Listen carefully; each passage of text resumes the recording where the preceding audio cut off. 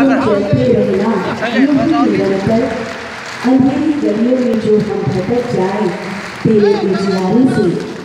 अच्छा मुश्किलें आ तो साथ निभाना दीप तुम तो यूं ही रहना यूं ही निरंतर हमारे माननीय अतिथियों के कार्यक्रम द्वारा दीप प्रज्वलित कर